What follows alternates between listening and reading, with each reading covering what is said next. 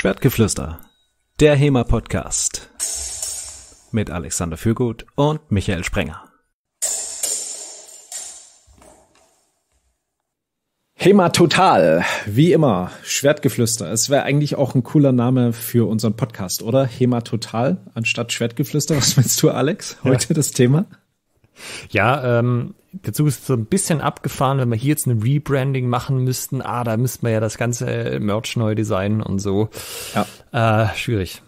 Das wäre das wäre tricky. Also wir haben es ja auch ne, überall eintragen lassen, Schwertgeflüster, Trademark, keine Ahnung, Natürlich. hunderttausende T-Shirts, hunderttausende T-Shirts gedruckt und sowas. Das äh, wird schwierig jetzt. Bei deshalb lassen wir es jetzt bei Schwertgeflüster Episode 139 und nur die heutige Folge heißt so, HEMA Total, unsere besten noch, Fragezeichen, nicht umgesetzten Projekte. Und wir möchten heute einfach so ein bisschen darüber reden, was wir einmal alles schon gemacht haben, also Alex und ich, was wir für einen Beitrag zur HEMA-Welt geleistet haben und was wir vielleicht schon seit Jahren in der Schublade haben, aber noch nicht umgesetzt bekommen haben. Ne? Wir sind noch nicht in die Umsetzung gekommen und wollen heute mal so klären, woran das liegt, was da Gründe sind dafür und wie wir das vielleicht hinkriegen. Das heißt für euch natürlich, was euch in den nächsten Wochen, Monaten, Jahren von uns erwartet. Oder wir finden vielleicht sogar noch ein paar Sachen, wo man sagt, das sollte mal dringend jemand machen, aber man muss es ja nicht immer selber tun. Ja. Das ist ja manchmal auch schön. Das ist zum Beispiel gerade bei mir der Fall mit meiner Steuererklärung für 2022. Falls da jemand Ambitionen hat, ähm, das ist nicht ganz so einfach als Selbstständiger, oder? Ja, also als so wie als ich als Solo-Selbstständiger geht's noch. Ne? Ich habe keine Angestellten und sowas und das ist noch relativ schnell gemacht, aber du musst halt trotzdem Einnahmen und Ausgaben alles auflisten und dann fürs Finanzamt plausibel auch darlegen. Und ja, dann fragst du dich halt schon mal ab und zu, scheiße, wo ist jetzt diese Rechnung? Ähm, und suchst dann rum. Gut, aber dann lass uns doch damit starten. Was haben wir denn so gemacht in der HEMA-Welt? Wir können ja, ähm, wollen wir chronologisch von hinten nach vorne oder von vorne nach hinten gehen? Starten wir, Sehr. starten wir bei, starten wir bei unserer HEMA-Reise. Ähm, ja, ja. Genau, starten am Anfang und kommen dann kommen wir am Ende raus. Kommen am Ende raus, ja, okay. Wird ja tendenziell über die Zeit auch mehr wahrscheinlich. Ja. Womit habe ich angefangen? Also ich habe erstmal nur mit Trainieren angefangen und das erste, was ich so selber gemacht habe, war im Prinzip dann Training zu geben, also Trainer zu sein. Das war dann mein erstes Projekt, festzustellen, dass das eine ziemlich große Herausforderung ist, anderen etwas beizubringen, ähm, eine Bewegung beizubringen, dass sie das so machen, dass das einen gewissen ja, dann erstmal überhaupt die Frage, wie sollen sie das machen? Sollen sie es so machen, dass mir das gefällt oder sollen sie es so machen, dass es ein bestimmtes anderes Ziel ähm, erfüllt, einen bestimmten Effekt hat? Und mich da überhaupt erstmal in dieser Welt zurechtzufinden, in dieser schönen neuen Trainerwelt. Das war, glaube ich, so mein erstes großes Projekt neben Einstieg ins Thema überhaupt. Das ist ja auch so ein Thema. Du fängst damit an und dann stellst du erstmal fest, was du alles nicht weißt, was es für unzählige ja, genau. Waffen gibt, was es für unzählige Quellen gibt, was du dir alles angucken könntest, wo du überall hinfahren könntest. Und bisher war total überfordert. Wie war es bei dir? Ja, ich habe ja auch dann relativ schnell Training übernommen, wie Hörer des Podcasts wissen. Der Unterschied ist halt, ich habe quasi gleich von Anfang an die Gruppe mit aufgebaut, beziehungsweise die auch mit gegründet da ging die Initiative nicht von mir aus. Aber äh, ich war quasi von Anfang an dabei, was Neues mit auf die Beine zu stellen und das halt vor allem über die Jahre dann auch immer weiter aufzuziehen und äh, ich sag mal eine Führungsrolle zu übernehmen in dem Ganzen. Würdest du Hast du ja dann auch gemacht, aber halt ein bisschen später mit Fancy Club. Genau, das waren dann fünf Jahre später. Äh, da, da, ist in der Zwischenzeit allerdings ein bisschen was passiert. Ähm. genau. Aber nochmal kurz, also ich habe Schwammfedern, erstes Training war, also bevor es den Namen noch gab, 2011. Wann ist Fencing Club gegründet worden? Zehn Jahre später. Ah, 2021. Ja. Okay. Genau, dann das eigentliche Training, HEMA-Einstieg, klar. Ähm, ich würde auch sagen, dass man, also für mich zumindest das Projekt eine Waffe wirklich in der Tiefe zu verstehen war, so das Projekt der nächsten Dekade mehr oder weniger. Mhm. Ja, geht mir auch so. Also nicht so, kann ich auch mal so ein bisschen, sondern wirklich im Detail bis runter, wie funktioniert das?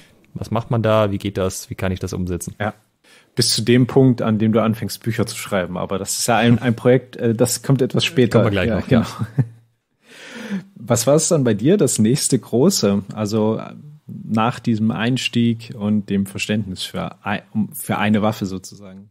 Also den, nachdem wir dann quasi hier ja der Fechtabteilung beigetreten sind, ich weiß gerade aus dem Kopf nicht, wann das war, aber quasi paar Jahre später, ähm, da hatten wir andere Möglichkeiten, was Trainingszeiten anging, was Hallengröße anging und so. Und da war es auf jeden Fall nochmal ein Thema, den, die Gruppe einfach weiter aufzubauen, äh, Leute in ausreichender Zahl ranzuschaffen, dass alle Trainingstermine immer gut besetzt sind. Und das war für mich immer so ein Ziel, dass ich einfach Termine oder halt Events organisieren kann. Und ich weiß, es sind genug Leute da, dass das sich trägt. Und ich muss nicht irgendwie vorher 15 Mal ein Doodle rumschicken und gucken, wann die Leute Zeit haben und dann kommt die Hälfte doch nicht und so Zeugs, sondern einfach, es ist so eine kritische Masse erreicht, dass ich sagen kann, ich äh, fliege jetzt jemand aus Schweden ein, das ist finanziert, ich muss mir da nicht irgendwie Sorgen machen, dass wir da Minus machen. Also das ist schon ein Meilenstein gewesen für mich, das einfach zu erreichen am Ende. Du meinst da jetzt die Gruppengröße bei den Schwabenfedern? Genau. Okay, dass du sicherstellen kannst, von den eigenen Leuten aus der eigenen Gruppe sind dann genügend da, dass du ein Event da durchziehen kannst. Genau, insbesondere wenn noch ein paar externe da sind. Also kann man sich leicht ausrechnen, wenn ich jetzt halt 20 Leute habe und ich brauche 15 Leute, dass ein Event finanziert ist, dann muss ich jedem äh, Händchen halten und sagen, hey, bist du da? Es wäre echt voll wichtig und so weiter. Sonst kann es halt sein, du machst miese. Ähm, das kann man auch mal machen, man hat ja auch noch Mitgliedsgebühren, aber äh, ich äh, schlafe da besser, wenn ich sozusagen weiß, das ist auf jeden Fall, das kann sich selber tragen und vielleicht kommen wir noch mit ein bisschen Plus raus, wenn die Leute äh, wirklich Bock haben, uns mehr als, also mehr als sich anmelden, als man plant sozusagen. Womit rechnest du dann immer? Also wenn du sagst, so und so viel Prozent von allen Mitgliedern, die wir haben, werden schon, werden schon teilnehmen? Mit welchem Prozentsatz? Ähm, also so rum ist es schwer zu rechnen. Du kannst aber sagen, also mehr als 20 Leute für einen einzigen Trainer oder eine Trainerin ist dann irgendwann auch zu viel. Also das ist irgendwie eine harte Obergrenze. Also vielleicht noch 22, aber es ist wirklich dann schon sehr viel an Personal da. Ähm, und umgekehrt, also ich rechne eher so damit, dass sagen wir mal bei 10, 12 Leuten, dass quasi die Finanzierung da gedeckt ist. Und das kriegst du bei Langschwert locker, locker mit quasi. Ähm, da ist es meistens eher, dass man wirklich an die 20 dann schon rankommt und vielleicht sogar irgendjemand keinen Platz mehr kriegt. Aber das ist jetzt auch erst die, die letzten Jahre so gewesen. Aber also rein von den Zahlen her kannst du das nicht sagen, weil es kommt ja auch immer darauf an, wie viele Karteileichen hast du, die halt zahlen und den Verein supporten, was gut ist, aber nicht im Training auftauchen und halt auch für so Seminare natürlich nicht mitplanen kannst. Aber das sind einfach jetzt Erfahrungswerte sagen wir mal, bei Rapier muss man da ein bisschen genauer hingucken, dass man einen Termin wieder wählt, wo dann Leute auch da sind, die viel Rapier trainieren. Aber für Langschwert, ich kann das irgendwann im Jahr sitzen, wenn das jetzt nicht gerade Weihnachten und Neujahr ist oder vierter Advent oder so, ja. dann sind die Leute auch am Start. Wird schon passen. Da hast du natürlich ja. den Vorteil, dass du auch in einer Metropolregion unterwegs bist in Süddeutschland, hier am Blinddarm äh, der Republik im Osten. Äh, ist es nicht ganz so. Also unsere ähm, wie soll ich sagen, die, wie nennt man das, das Einzugsgebiet, was wir hier haben, umfasst halt nicht direkt so viele Leute. Also die kommen dann schon mal eben aus mindestens 100, ähm, wahrscheinlich eher 200 Kilometern Entfernung. Für ein Event meinst du? Für ein Event, ja. Um da dran teilzunehmen, da ist es nicht so ganz so einfach, auch wenn man sagt, ja, hier Langschwert-Event. Also für so kleinere Sachen wie Seminare sind das häufig auch gar nicht so viele externe, sondern halt auch eher im Bereich fünf bis acht oder so. Ich meine, Ulm und Neu-Ulm zusammen, ist, wir sind ja eine Grenzstadt, Baden-Württemberg und Bayern, die haben zusammen auch nur 200.000 Einwohner. Also das ist jetzt ist okay, aber es ist jetzt nicht so, als wäre das hier Berlin oder so. Nee, schon klar, aber bei euch sind ja dann München und Stuttgart in einer sehr, sehr gut erreichbaren Nähe, Nürnberg. Ähm, das macht sie ja. ja schon ein bisschen bemerkbar. Ja, ja, also bei den größeren Events, die ja wirklich über zwei Tage gehen, auf jeden Fall. Bei den kleineren, ähm, so Tagesseminar oder so, äh, überlegen sich dann schon einige, ob sie da von München herfahren. Stuttgart ist da noch besser, weil da bist du unter ein bisschen eine Stunde hier in der Halle. Hm. Cool. Nee, genau. Also das war mir wichtig, dass ich einfach Zeugs organisieren kann und nicht, also vor allem dieses ewige Facebook-Werbung schalten und daheim äh, quasi intern nochmal Rundmails und so. Das ist, also mir ist das irgendwie echt auf den Sack gegangen und jetzt kann ich es einfach, kündige es irgendwie dreimal an und dann ist auch gut. Jetzt auch vergeben. Ja, an dem Punkt bin ich gerade noch bei meiner Gruppengröße, äh, dass ich da ein bisschen mehr die Werbetrommel rühren muss aber es wird auch von Jahr zu Jahr, äh, von Anfängerkurs zu Anfängerkurs, der ja. äh, quasi rüberschwappt, leichter. Andere wichtige Weinstein war noch für mich auch wieder intern, dass es Leute gibt, die Sachen organisieren, wo ich nicht direkt dran beteiligt bin. Also ich, ich helfe da schon mit irgendwie, aber Leute haben ähm, trauen sich das zu und machen das auch, selbstständig irgendwas zu organisieren, egal ob das ist ein Seminar oder ein Turnier oder sonst was ist dass es auch so hängt dran an, drauf kommt. Ich fange mal an. Das hängt davon ab und kommt drauf an, wie man intern aufgestellt ist, aber halt auch eine gewisse Menge. Auch hier bei 20 Leuten ist halt unwahrscheinlicher, dass da einer dann so motiviert ist und da richtig Gas gibt, als wenn du jetzt 50 oder 100 Leute hast, da ist halt ja, wenn das jeder, keine Ahnung, Zehnte ist, hättest du da halt zehn motivierte Leute und sonst sind es halt vielleicht nur einer oder zwei. Es, es hängt drauf ab. Es hängt drauf ab, genau. Fände ich schön, wenn sich das jetzt als Redewendung in der HEMA-Szene etablieren würde. ah, es hängt ein bisschen drauf ab. Der Bauern, wo sein Fechtbuch wohnt. Ja. Soweit sind wir noch nicht ganz. Also es gab in der Tat ein Event mit dem Dresdner Frauenfechttag, Fans Like a Woman, die, wo ich nicht so viel gemacht habe, aber trotzdem noch äh, stark involviert war. Ähm, da wird es wahrscheinlich noch ein bisschen dauern, bis wir an dem Punkt sind, dass es so komplett autonom von mir läuft. Ja. Aber geht ja voran, ne? Ja, slowly but steady. Ja. Ansonsten würde ich noch auch, was das Skill-Level angeht, so als Projekt quasi zählen, dass man auch, also gerade wenn man auf Wettkämpfe fährt, dass man da auch mal Erfolg hat und nicht nur irgendwie unter den letzten 16 rumdümpelt. Ja. äh, hat dann auch irgendwann geklappt. Äh, relativ, also ziemlich konsistent vor allem auch. Ja, das ging mir auch so. Also irgendwann war mal der Knoten geplatzt, da hatte ich eine, eine Phase, da lief es richtig gut. Und dann habe ich gemerkt, dass mir Trainer sein aber irgendwie mehr Spaß macht als Fechter sein. Also ich war nicht so, wenn du in irgendwas richtig gut sein willst, musst du so richtig besessen davon sein. Also da musst du, musst du wirklich völlig gestört reingehen in das Thema, um quasi dich dann, dann ist ja alles andere egal, dann willst du das unbedingt erreichen, ja. ne? dann schaffst du das. Boss hat einen krassen Leistungs- und Siegeswillen auch ja. am Ende. Und das hatte ich als Fechter, hat mir das einfach so ein bisschen gefehlt. Also ich habe nie diesen, diesen Drive gespürt, boah, jetzt mal so richtig vollkommen gestört draufgehen und alles versuchen zu reißen. Ähm, ich habe mich immer gut vorbereitet, habe immer so das schon viel gemacht, aber es war eher so ein ähm, gutes, gutes Average, was ich sozusagen gemacht habe. Das sind dann eben auch mal ein paar sehr gute Platzierungen bei rumgekommen, aber dass ich es dann wirklich so bis an die krasse Spitze geschafft habe, dauerhaft, ähm, sowas nicht. Ja. Hast du dann noch irgendwas, wo du sagen würdest, das ist so selbstfechtermäßig, gruppenmäßig, trainermäßig ein Projekt, wo du was du erreicht hattest? Ich habe naja, ich sag mal, mit Fencing Club habe ich meine Trainingsphilosophie umgesetzt. Also meine Idee davon, wie man historisches Fechten beibringen sollte. Also dass wir anfangen mit Ringen, dann Dolch, dann einhändige Wehren, wie eben langes Messer oder eben ein einhändig geführtes Schwert, dann ein Schwert und ein Buckler und dann zweihändig geführtes Schwert, also ein langes Schwert. Und diese Evolution dann durchzuziehen im Anfängerkurs, Leuten einmal so ein Gesamtsystem in die Hand zu geben, dass du allen irgendeine Waffe in die Hand drücken kannst und die stellen sich damit nicht blöd an, ne? sondern die können damit kämpfen ja.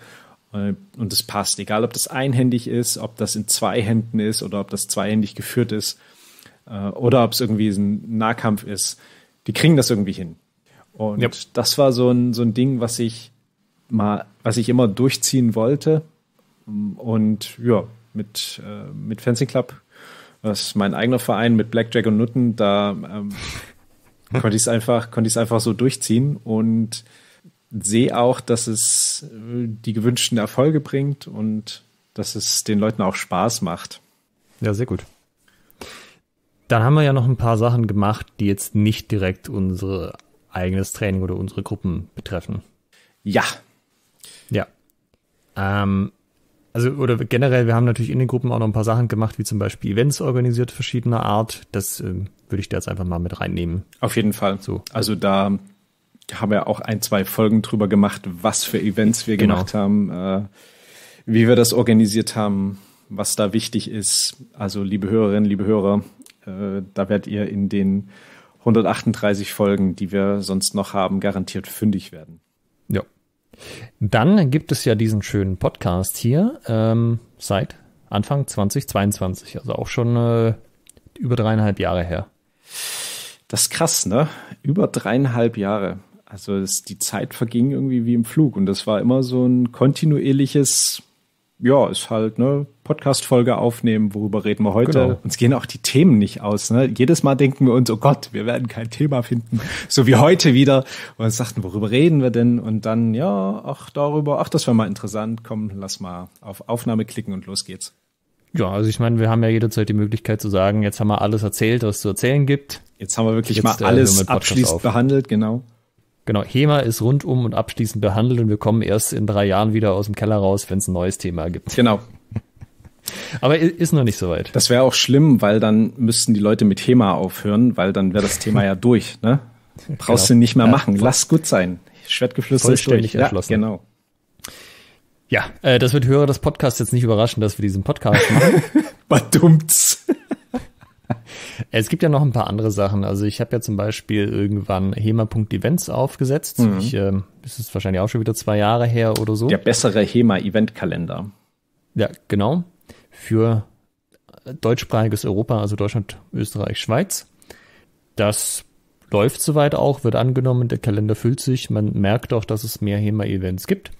Äh, übrigens, wenn ihr das nicht wusstet, ihr könnt auch eure, äh, also quasi HEMA-Events bei euch auf der Homepage einbinden. Also wenn ihr zum Beispiel jetzt sagt, ihr habt, ihr braucht keinen eigenen Eventkalender, weil wenn ihr was macht, ist das eh öffentlich und es ist jetzt nicht so, dass ihr fünf interne Events auf ein externes habt, wo es sich vielleicht lohnt, einen eigenen Kalender zu betreiben.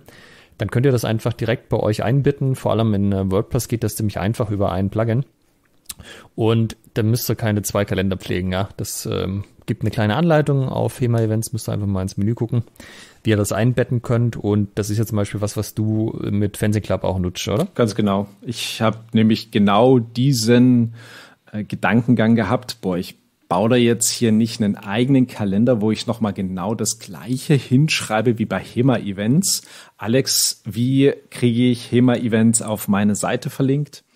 Und ja, da hat Alex mir das erklärt. Vielen Dank an dieser Stelle nochmal.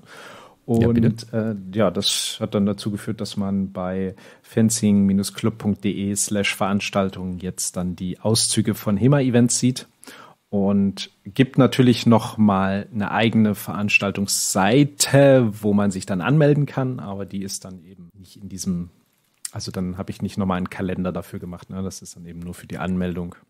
Ja. Äh, gibt eine kleine Regel, ihr dürft nur eure eigenen Events einbinden. Also es kann, kann jetzt nicht irgendjemand einfach so, ohne zu fragen, die Events von jemand anders anbinden, sondern halt eure eigenen, aber da müsst ihr auch nicht fragen, das könnt ihr einfach machen. Ähm, ansonsten, ich habe noch die Seite HEMA Guide, da habe ich äh, eine Zeit lang Artikel geschrieben, war da aber, also Artikel schreiben tatsächlich als Medium ist schon auch gar nicht so unaufwendig. Habe ich im Endeffekt nicht mehr großartig was gemacht, seit wir den Podcast haben, weil das einfach ein einfacheres Format ist für das, was ich, äh, also wie ich kommuniziere so. Ich finde das einfacher, hier einen Podcast mit dir aufzunehmen, als einen Artikel zu Ja, finde ich auch deutlich angenehmer. Kannst ja einfach alles von der Seele labern und im Gespräch kommen ja dann auch nochmal Ideen dazu. Man kann Sachen ja, ein bisschen genau. genauer ausführen. Man hat seinen, seinen Sparringspartner, der einem sagen kann, ja, habe ich nie verstanden, erklär's mir nochmal. Und ja. äh, das macht es dann auch, glaube ich, einfacher für Leute beim Zuhören, das zu verstehen, als wenn du irgendwas durchliest und denkst, hm, ganz schlau bin ich jetzt hier nicht raus geworden. Ja, ich bin auch kein so ein Fan privat von Podcasts, wo einfach einer alleine macht, weil die sind meistens so ein bisschen, äh, klingt halt, als würde jemand was, ein Skript ablesen, was ja meistens auch der Fall ist. Ja. also, ich finde Gespräche natürlich und netter zu, zuhören. So, liebe Kinder, heute erzähle ich euch was über die Geschichte des historischen Fechtens. genau. Ähm, ansonsten, ich schreibe ein Buch über den Schielhau. Das äh, wird auch dieses Jahr noch rauskommen. Das ist der feste Plan. Es ist nicht mehr ganz so viel Zeit. Äh, jetzt, wo wir das gerade aufnehmen, ist September. Der, der ähm, Schielhau im Detail, richtig? Das ist der Arbeitstitel. Ich habe den finalen Titel noch nicht festgelegt. Ah, ja. Ich denke, da werden wir auch nochmal eine Folge zu machen, wenn es dann kurz vor Release ist, weil so uh. ein Buch erstellen aha, ist interessant und äh, gar nicht so unaufwendig, sage ich mal. Ja, ich bekomme ja so, so ähm, am Rande so die Einblicke, wenn du was erzählst, beziehungsweise in unseren Vorgesprächen, wenn da wieder irgendwie was dazugekommen ist. Wir haben ja auch die äh, vorletzte Episode dazu gemacht mit den, die, die ist ja auch dadurch entstanden, dass du dich darum gekümmert hast, wie man Fehler vermeidet, ne? die ganzen wunderbaren genau. Kommentare.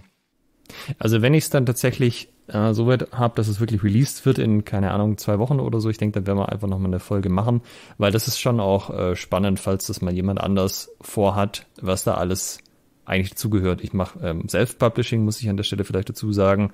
Das heißt, äh, ich mache tatsächlich alles selber oder muss äh, zumindest Leute dafür bezahlen, dass sie das für mich machen und die Leute auch erst finden und so. Steht kein äh, Verlag dahinter. Und vor allem den Leuten dann auf den Sack gehen, dass sie ihre Arbeit ordentlich machen. Ja, äh, also ist jetzt nur der Kurzüberblick, aber ja, da wird es noch einiges zu sagen geben. Ist auch so ein Ding, ähm, hat mich einfach interessiert, wollte ich mal machen. Ähm, und ich, also ich meine, wir arbeiten ja hier auf äh, Basis immer von Büchern, also von Fechtbüchern. Und fand ich einfach mal spannend, diesen Prozess zu durchlaufen. Ob es am Ende auch Leute kaufen, wird sich dann zeigen. Ich hoffe schon. Mhm. Äh, weiß man aber natürlich vorher nicht, ob sich der ganze Aufwand am Ende auch gelohnt hat. Ja. Genau. Hast du noch äh, HEMA-Sachen gemacht, die, also sowas in der Richtung, die wir jetzt noch nicht aufgezählt hatten? Äh, ich habe noch keine, keine Bücher geschrieben oder irgendwelche Kanäle äh, veröffentlicht, sonst außer Schwertgeflüster sozusagen, wo ich Gründungsmitglied bin. Ja. Also ich habe ja so ein paar andere Sachen noch gemacht, wie zum Beispiel den Hemazensus, über den wir ja auch schon das eine oder andere Mal berichtet hatten. Also einfach mal gucken, wie viele Leute trainieren überhaupt war es in Deutschland äh, und in Österreich dann auch. Das war natürlich auch äh, ein ziemlicher Aufwand so. Hab dazu auch ein Paper geschrieben und das auch einmal veröffentlicht, dass das auch wissenschaftlich verwertbar ist, äh, weil sonst kannst du die Zahlen nicht so gut äh, zitieren. Jetzt geht das alles. Ja, äh, von daher mal gucken. Ich glaube, das mache ich so schnell äh, nicht nochmal. Wo hast du dieses Paper veröffentlicht? In Acta Periodica Duelatorum. Ah, ja. Das ist quasi eine Journal, was sich spezifisch um HEMA-Dinge kümmert und wo man explizit auch als Practitioner sozusagen, also nicht, man braucht jetzt nicht den Doktorgrad in Geschichte, um da irgendwie ein Paper einzureichen. Wird natürlich trotzdem angeschaut, ob das irgendwie passt so an sich, ja, aber mh. genau. Gibt einen, einen Review-Prozess. Ja, wobei da, also da kam jetzt nicht so viel Anmerkungen zurück an der Stelle tatsächlich. Ähm, ist halt auch kein Fachmagazin für Statistik oder so. Ich denke, wenn ich versucht hätte, das Paper im Statistikjournal einzureichen, die hätten da äh, wahrscheinlich ein bisschen mehr auf die Details noch geguckt. Ja, ja. Genau, ansonsten, was ich auch noch gemacht habe, sind immer wieder diverse Kartenprojekte. Ah, das, was wahrscheinlich die meisten kennen, ist diese HEMA-Gruppenkarte in Deutschland. Also ich habe ja für den Zensus eh die ganzen deutschen Gruppen zusammengetragen und die habe ich dann entsprechend in eine Karte überführt. Das ist auch auf HEMA Guide verlinkt und ich weiß auch rein von den Zugriffszahlen, dass viele Leute das sich anschauen und ich denke auch darüber wahrscheinlich HEMA-Gruppen finden. Also liebe Hörerinnen, liebe Hörer, falls ihr über diesen Podcast gestolpert seid und euch fragt, HEMA, was sind das? Da gibt's mit Schwertern und so. Genau. Und guckt auf HEMA Guide die Deutschlandkarte der ganzen Gruppen an und dann findet ihr was in eurer Nähe und da geht ihr einfach vorbei und habt Spaß. Genau. Äh, ja, das sind so die Sachen. Ich habe äh, über die Jahre irgendwie so viel Krams gemacht. Ich bin mir nicht mal sicher, ob ich irgendwas jetzt vergessen habe, aber ich glaube, das sollten die wichtigsten Punkte so sein. Na, ich würde. Fehlt bei dir noch irgendwas? Äh, ja, ich habe den Nationalkader im historischen Fechten ah. ins Leben gerufen. Also. Ja, erzähl doch mal, wie ist das gelaufen? Ich hatte mich eigentlich für das Amt äh, beim Dachverband äh, damals für den Vizebildung beworben, habe dann in einer Kampfabstimmung ähm, gegen meinen Gegenkandidaten äh, verloren. Und da hieß es so, ja, aber wir haben auch noch dieses Amt des aktiven Vertreters. Also weißt du, so, als ob da jemand irgendwie in die, in die, in die Schublade gegangen ist, hier so, Chor, ich habe ja noch was gefunden. Und ja. ähm, meine Antwort war, hä, aktiven was? Und also, ja, mit Nationalkader und so. Ich so, sind wir schon auf diesem Level? Nee, sind wir nicht, aber das müsstest du dann machen. Hm. Alles klar. Na, ich war in, an Turnieren und wettbewerbsorientiertem Fechten interessiert, war genau mein Ding. Und habe ich gesagt, ja, gut, mache ich. Und ähm, wenn ich halt Dinge mache, dann setze ich die, also wenn ich sage, ich mache das jetzt, ne, ich verpflichte mich jetzt dazu, dann kommt da auch immer was raus. Also da, da wäre es mir irgendwie peinlich. Also ich weiß nicht, ist so mein Naturell, ist mir unangenehm, da nichts abzuliefern. Und da bin ich halt dann erstmal Step by Step losgegangen, habe mal eine um wie habe ich das gemacht? Ich habe erstmal eine Umfrage gemacht, was sind denn eure Befindlichkeiten, was was denkt ihr zu dem Thema und habe mhm. eine Million Antworten bekommen und mich überhaupt erstmal darin rein gedacht, sozusagen, was sagt jetzt Deutschland, HEMA, HEMA Deutschland dazu? und festgestellt, okay. Die meisten wahrscheinlich, ist mir egal. Ja, ist mir egal oder äh, haben wir nicht andere Probleme? Und ich so, ja, pff, vielleicht, aber das ist jetzt halt mein Thema. Und habe dann ziemlich schnell festgestellt, du kannst das hier nicht allen recht machen. Du guckst jetzt halt die an, denen du es damit recht machen willst. Und das sind halt die, die wirklich wettbewerbsorientiert fechten wollen, die international ja. fechten wollen und die das Ganze als Sport sehen. Das ist ja ein Teil des historischen Fechtens. Und für die macht man das jetzt. Ja, und bin ich losgegangen, hab so Leuten gesprochen. Ich kam mir da vor, weißt du, wie so ein, so ein, so ein shady Dude, der hier Ro Rolex irgendwie am St an einer dunklen Straßenecke verkauft. So, hast du Interesse am Kader? Das ist ein ganz heißes Ding. Ähm, komm mal mit. Ja, sehr schön. Hier ist die Badewanne mit äh, Eiswürfeln drin. Ja. Wie geht's deiner Niere so? trinkst, trinkst du viel Alkohol? Nee, oh, das ist gut. Und ähm, dann habe ich, ähm, da haben wir erstmal mit Männern angefangen, Männer Langschwert, dann habe ich einen Trainer gesucht und ähm, dann ja Leute gesucht, die da mitmachen und dann haben wir mal ein Trainingslager veranstaltet. Das erste, das war alles noch sehr ähm, ja so, so sehr Learning by, by Doing. Also wir, wir, wir fangen jetzt einfach erstmal an, probieren wir mal aus und gucken, wie es den Leuten gefällt und dann nehmen wir das Feedback und machen das dann im nächsten Jahr besser. Und ja, dann ging das so voran. Dann kamen noch immer mehr Männer dazu und dann haben wir noch einen Frauen-Langschwertkader dazu genommen und da braucht man natürlich noch einen Frauentrainer, den haben wir dann auch gefunden oder habe ich dann auch gefunden. Und dann habe ich dafür gesorgt, dass wir auch eine feste Trainingsstätte für den Kader bekommen, also dass wir Trainingslager regelmäßig abhalten können, einmal im Frühjahr, einmal im Herbst, ähm, dass das gesichert ist. Das war damals die Landessportschule Bad Blankenburg. Ähm, da habe ich mich quasi darum gekümmert, dass wir dort einen, einen, Platz kriegen, dass wir dort trainieren dürfen. Ähm, da war auch, da, darauf bin ich auch echt ein bisschen stolz. Das war 2021, genau. Da ging es nämlich darum, das war ja Corona All-Time High. Ne? Also ja. nichts geht in Deutschland. Alles, alles mit Maske, alles mit Abstand, alles ganz, ganz schwierig. Öffentliche Veranstaltungen, Sport, also war ja überhaupt nicht dran zu denken. Ja. Und ich so, ja, wir wollen gerne ein Trainingslager veranstalten. Und die Landessportschule so, äh, nee, weil ja. Corona und so. Ähm, dürfen wir nicht machen. So, ich natürlich mir gedacht, das wollen wir doch mal sehen. Äh, hab dann nachgeguckt und festgestellt, dass es da vom Ministerium in Thüringen, also Bad Blankenburg liegt in Thüringen, und da gab es so ein, so ein Schriebs, was alles erlaubt ist und was nicht. Und da stand explizit drin, Kader auch von nicht-olympischen Sportarten dürfen trainieren. Damit das ist gut zu wissen, ne? Weil, also es gab ja immer mal wieder Ausnahmen für äh, Profisport, weil das natürlich deren Beruf, ne? Ja. Aber schön, dass es auch nicht olympische Sportarten Genau, das war, also da haben wir ja auch wieder Föderalismus in Reinstform erlebt in der Corona-Zeit. Jedes Bundesland, äh, gefühlt jede Gemeinde hat es anders gelöst.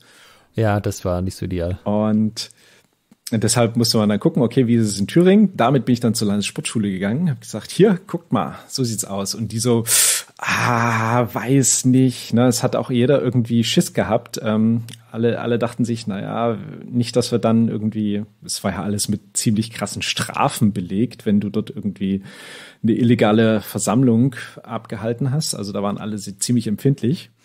Ähm, aber wenn sie uns eine, ähm, eine quasi, was war das, so eine, so eine, so ein Gutachten oder so eine äh, Genehmigung, Genehmigung vom Ministerium ähm, für, ich glaube, Sport und, boah, frag mich, was das ist, ähm, ist, äh, wenn sie uns das ähm, bringen, dann könnten wir das so machen. Also bin ich zu diesem Ministerium, habe denen eine E-Mail geschrieben, habe gesagt, hier, wir machen das und das und dies und das und jenes und wir bräuchten jetzt dafür ähm, eine Aussage, geht oder geht nicht. Ja. Ja, und äh, die habe ich dann auch bekommen. Haben sie gesagt, ja, sie dürfen mit diesen den Gruppierungen, mit Meldelisten, tralala, also die haben das echt ernst genommen. Die haben sich da auch im Detail angeguckt, was wir da machen. Das fand ich krass. Und da haben sie gesagt, ja, da, das, das ist okay. Und dann bin ich damit wieder zur Landessportschule und habe gesagt, hier, es war wie Passierschein A38. Ja. Und habe gesagt, so, jetzt aber. Und gesagt, okay, dann dürft ihr trainieren. Ja. Das war, ja, aber ich glaube, das war cool der Unterschied zu anderen Ländern ist, glaube ich, äh, da hätte man einen ganzen Krams gemacht und er hätte es trotzdem geheißen, nee, ist nicht, aber bei uns, wenn du alle Sachen hast und die hinlegst, dann ist genau, so, ja, wenn du in, in dem Fall mach mal. Wenn du in Deutschland die nötigen Formulare bringst und da irgendwie eine Behörde sagt, ja, ist okay, dann ist okay. Dann ist okay. Dann verlässt man sich da auch drauf. Ja, ähm, ja und das waren so die, die größten Errungenschaften und dann eben das Weiterführen. Also ich habe das dann zum Schluss noch so weit geführt, dass ich auch den, den Rapierkader noch äh, aufgesetzt habe, äh, da auch Trainer gesucht habe, äh, Leute gesucht habe, die sich beteiligen. Den gibt es seit letztem Jahr, richtig? Also 2022? Ja, glaube ja, genau. Ja, das ist ja, glaube ich, gab es auch das, die erste Rangliste mit einem Turnier. Genau. Also Rapier jetzt. Ja, genau. Und ja, das war so mein, mein Steckenpferd, den Kader aufzusetzen und quasi das wettbewerbsorientierte Fechten in Deutschland auf ein voranzubringen, sozusagen, dass es auch irgendwie einen, einen Grund gibt, so ein bisschen sich zu messen und ja, also eine Geschichten. Mir ist tatsächlich noch was eingefallen, beziehungsweise ich habe es nachgeschaut, was wir auch noch gemacht hatten, was wir jetzt komplett vergessen hatten. Wir haben ja auch noch zwei Artikel beigesteuert für die Meditation. Ach ja, stimmt, ja. Ja, also wer das nicht kennt, das ist eine Buchreihe von Herbert Schmidt und Sofa Books, wo seine Idee so ein bisschen war, man nimmt Leute aus der HEMA-Community, die schon länger dabei sind und stellt denen so eine Frage, so Meditation so ein bisschen so philosophisch und die können dann frei Schnauze weg schreiben, wie sie darüber denken. Und da haben wir in dem, ähm, ich glaube, zweiten und dritten Band müsste das sein, in Forewarner und Truth Seeker jeweils einen Artikel beigesteuert. Ähm, es hat uns noch nie jemand drauf angesprochen. Also ich bin mir nicht ganz sicher, ob die jemand gelesen hat tatsächlich. Oder ob die alle gesagt haben, Schwertgeflüster, das Kapitel überspringe ich gleich. Ja, oder die Leute haben es gelesen und sich gedacht, ja, das ist das gleiche wie im Podcast hier. Ja, vielleicht doch das. Also falls sie äh, tatsächlich jemand gelesen hat, könnt ihr euch ja mal melden, würde mich auf jeden Fall interessieren. Ja. Wir haben es auch mit einer leichten Brise Humor gewürzt, könnte man sagen. Äh, nicht, äh, nicht unähnlich zu dem, wie wir das im Podcast ja, haben. es gibt Parallelen. Genau, und ansonsten äh, könnte man noch der Vollständigkeit halber sagen, wir haben auch einmal für das DDF-Präsidium kandidiert. Ja. Sind nicht genau. gewählt worden und äh, ja. Alex als so. Präsident und ich als Vizepräsident für Sport und Sportentwicklung. Damals zusammen noch mit dem Julian. Ja. Genau. Als Triumvirat da angetreten. Genau, aber ich hatte da schon so ein bisschen Zeit mental blockiert, habe ich halt in der Zeit äh, Buch angefangen zu schreiben, war auch in Ordnung. Ja.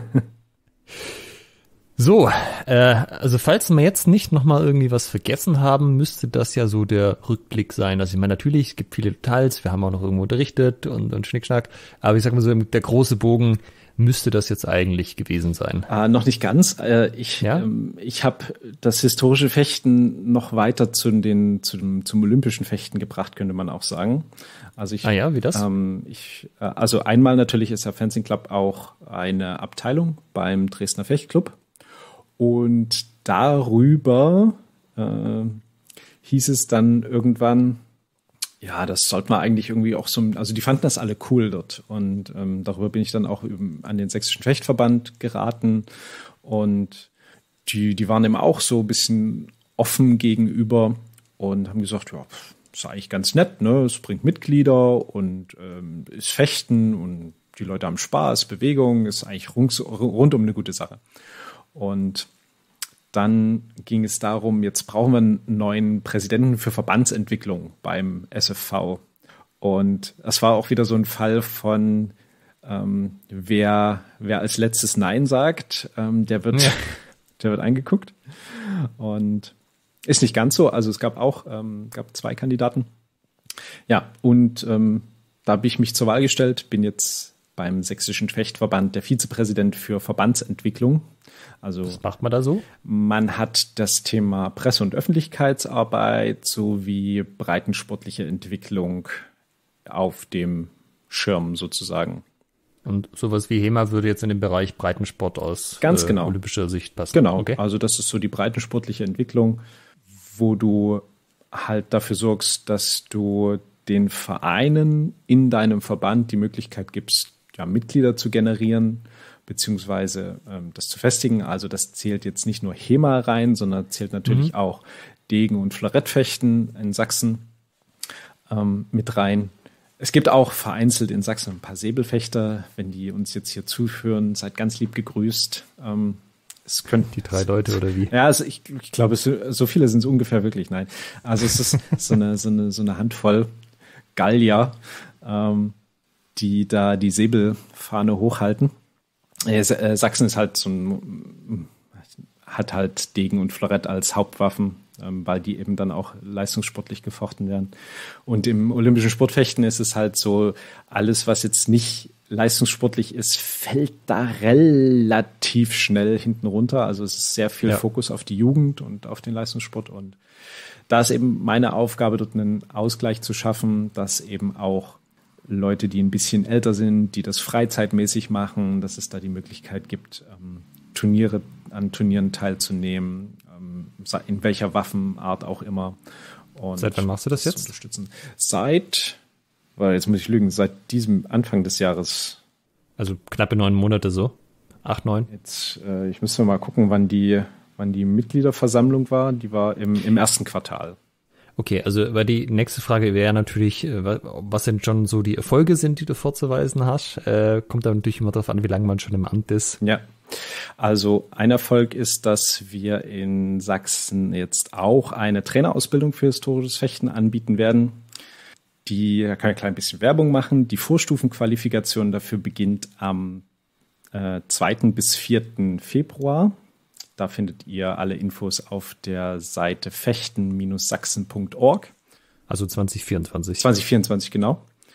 Und die Vorstufenqualifikation ist dann eben die, die Grundlage für diese Trainerausbildung. Die wird mit den olympischen Sportfechtern zusammen gemacht. Und genau, dann wär, muss man ja ein paar Module für die Trainerausbildung kann man bei seinem Sport, äh, Stadtsport oder Kreissportbund machen.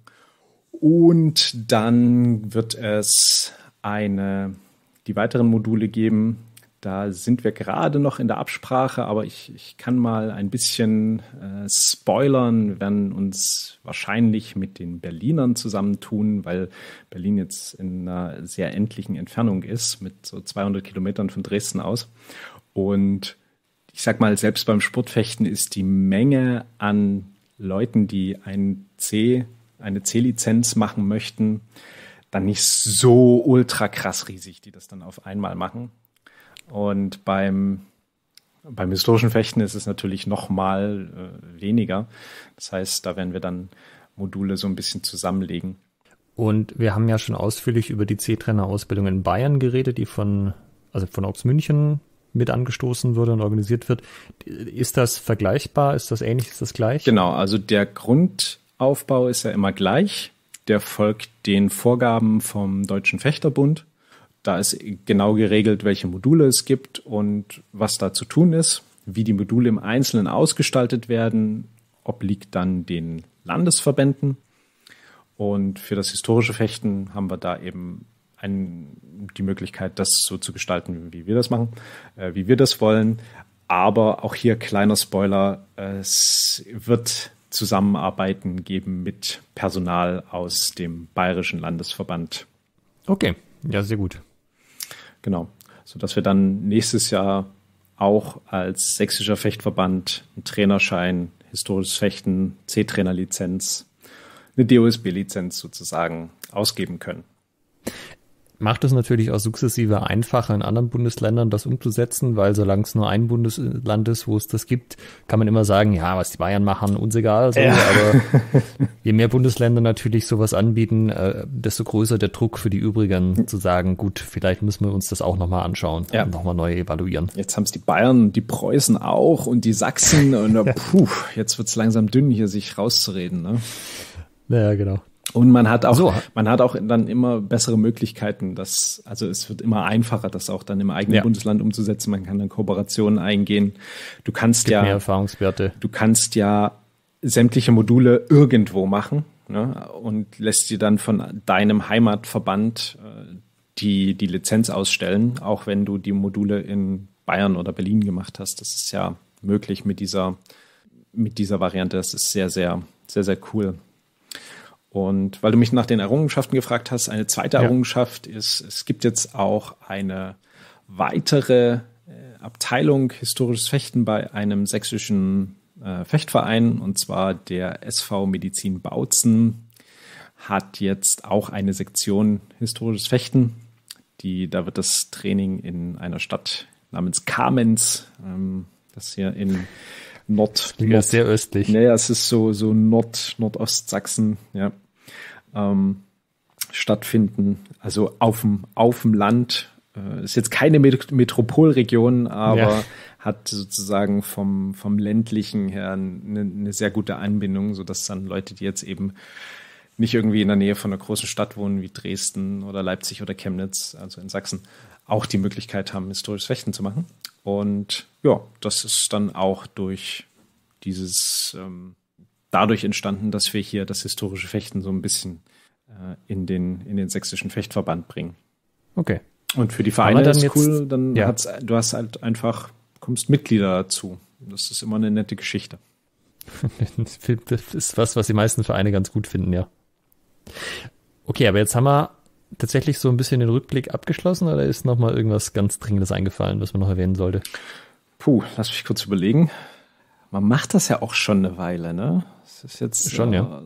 14, knapp 14 Jahre. Ähm, ich würde sagen, das waren so die, die Meilensteine bisher. Ja. Dann wollten wir ja eigentlich so ein bisschen nach vorne schauen, was wir denn noch an Ideen und Ansätzen hatten und warum wir das vielleicht noch nicht umgesetzt haben. Äh, wir haben aber jetzt auch schon wieder eine ganze Weile äh, sozusagen geredet. Also man merkt, wir haben schon die eine oder andere Sache gemacht. Ja.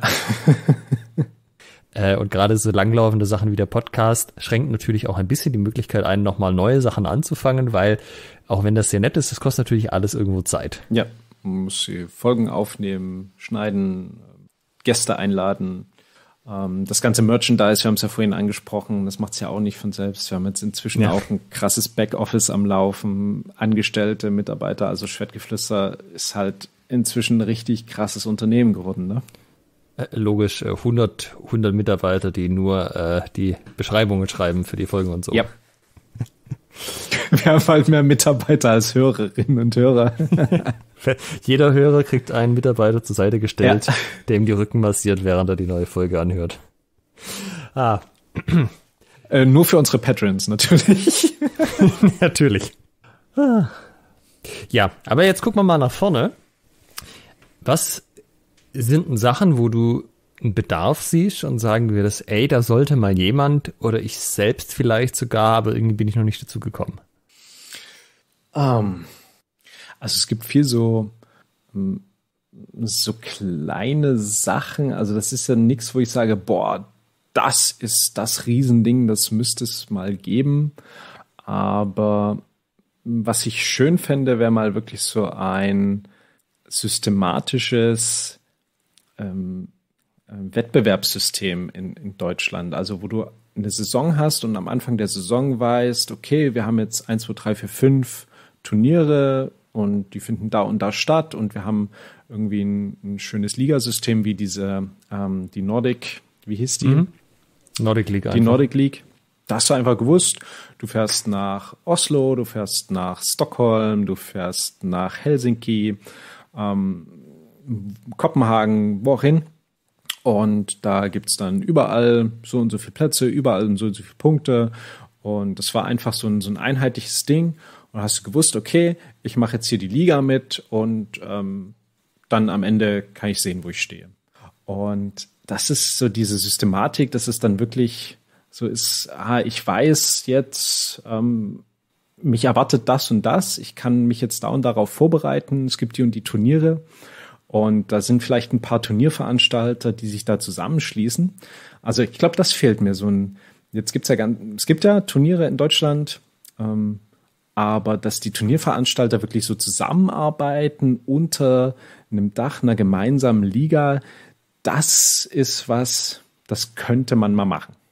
Also sozusagen, dass nicht irgendwie das an den DDF rangeht und wir machen die Rangliste und dann kommen unterm Jahr noch relativ kurzfristig Sachen dazu, sondern dass die Organisatoren selber sagen, wir machen da jetzt im Schulterschluss, ziehen zusammen was auf und tragen sozusagen eine gemeinsame Vision.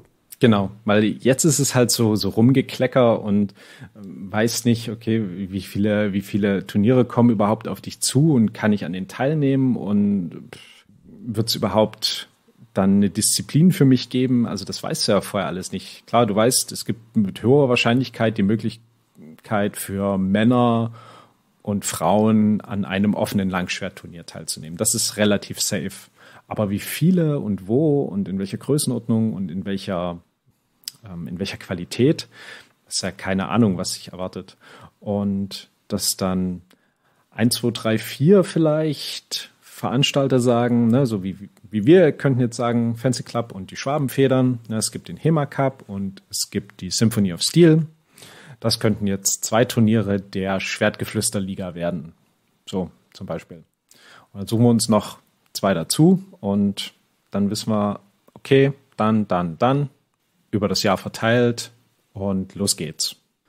Ja, ich denke auch. Also die, generell, dass sich die Veranstalter von diesen Events einfach nochmal besser vernetzen und halt auch gemeinsam Sachen auf die Beine stellen und sich gegenseitig unterstützen. Jetzt läuft das ja alles über so die Ebene des Individuums, dass du als Kampfrichter sagst, ich gehe da hin oder nicht hin, ja. aber dass sich wirklich verschiedene Gruppen und Organisationen zusammen irgendwas auf die Beine stellen, das ist eher selten. Weil du, du hast gerade den, den absoluten äh, Painpunkt angesprochen, Kampfrichter.